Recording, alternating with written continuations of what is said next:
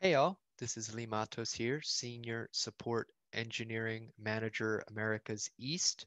Coming back, last week I made a video talking about how uh, Compa Group was being converted into performance factor and that we had to do some changes on our side.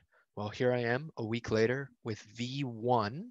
So it's still in draft. I want to just, this is the first iteration that I've come up with, and I'm seeking feedback from managers and individual contributors alike. So I'm going to share my screen. I'm going to show you what I have so far, show you what I'm thinking. Uh, shout out to Tom Atkins. Him and I had a great call this morning where we sorted this out and, and, and discussed some ideas, and then show you how you can contribute. Um, let me get to it. One second to share my screen. Okay, great. So on my screen, you should be seeing what I've made as the first draft of our performance factor worksheet for an intermediate support engineer. Now, this would be used with your manager. So a manager would start this process during review cycle, and you would sit down with your manager and, and, have the opportunity to use this to understand how your manager is assessing your performance. So the cells in here that are changeable would be the performance column, and there are three values. Those values end up getting calculated, fed into a weighted average, so 60% responsibilities, 40% values and remote work to get the value, which then translates into a performance factor. Now, that's pretty straightforward system. The hard part becomes actually assessing. So one of the things that we did here was make sure that we weighted appropriately. So for example, we think the bulk of an intermediate support engineer should be spending their time on tickets. Now, an intermediate support engineer as well should be in the on call, but that's not as valuable as tickets because it's less frequent. So we weighted it. The rest are weighted, we think, appropriately. But if you think those weights aren't accurate or should be adjusted, I'm curious. I'd love to hear your thoughts. Can't promise we'll adjust it, but I want to hear what you have to say to better understand. From there, being very clear, some of these messages might not be as strong as you want them to be, and that's okay. They're meant as kind of a header. And you'll notice here some of them have a sentence and then uh, something in parens. If it has something in parentheses, that means that it aligns with the support responsibilities page in the handbook with that heading. So that's something you can look at. Beyond that, we have this performance factor descriptions sheet at the bottom. And this is where I'm interested in the input from managers and ICs alike. This is me taking a majority of the resources we had from last review cycle with Compa Review, going from four categories to three categories, and then thinking about what kind of changes we need to make. So I've made these proposed ranks ranks is too strong a word, proposed sections. And I would love for people to take a look and think about them and see if we're missing anything or see if something can be better clarified. One of the things that we're trying to understand is how we can use things like the uh, published ticket baseline as a factor involved in here, right? And one of the last bits that I want to draw your attention to as well is this column. Um, or or this row, I should say, which maps to improve how our team works.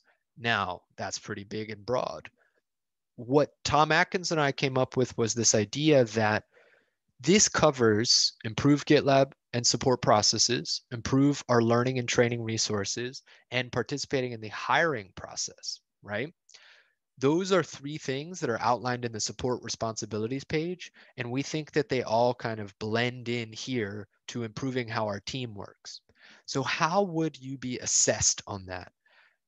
At the moment, Tom Atkins and I think that the best way to do that would be kind of a first past the post system. And what I mean by that is we we came up with these very very simple. I would like to make them more robust uh, rows, right? Each one aligning to okay, this is training, this is con- contributions, and this is hiring process, right?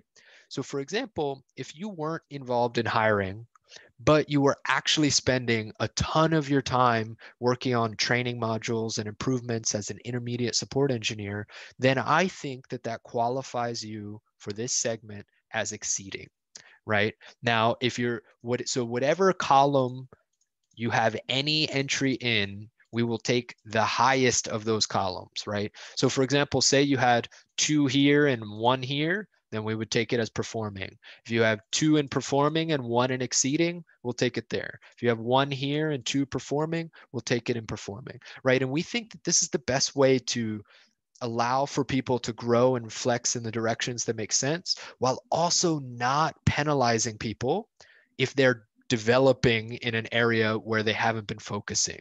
Because if we just separated them all out and you put a developing, developing, developing, right, that's going to start to weigh the average down. And we wanted to be very cognizant of that. So we want to make sure is that clear? Is that something that um, when you look at it, you say, "Oh yeah, that makes sense," and they're they're they're giving me the highest of my ability in that kind of variability range. Great, and then take a look at these other values and see if there are things that you think should be changed. If you do, I ask that you come to this sheet, which I'll link in the description here and share in the issue, and put a comment right? Let's start there. I don't want comments on the issue. I want comments on the sheet so it's as close as possible. And I'm hoping to have this sheet finalized mid next week. And then I'm also currently working on the senior sheet, which I'll do a similar demo for. The technology should be exactly the same. The values in this uh, performance factor descriptions will be different. So thank you for your time wanted to make sure that we're doing our part to be as transparent as possible from this change being driven by people ops, from compa groups to performance factors, how we're devising a system, how we'll use those weights to get a factor, which then we will provide to people ops, which then people ops will use to um, give us a pool for compensation increases. So hopefully that helps. If you have more questions, go to your manager, ask your manager. They may not know, but start there. If they do know, great. If they don't, they'll funnel it up and we'll figure out what we can do. So thank you for your time. Appreciate your help and hope you have a happy Friday. Bye.